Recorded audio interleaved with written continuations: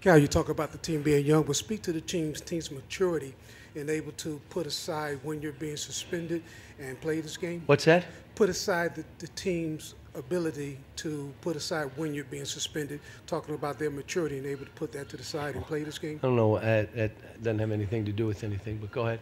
Cal, can you comment at all on Tai's uh, suspension in this report that he was at, at a I- you know, he, with an he was he was he was he violated team rules.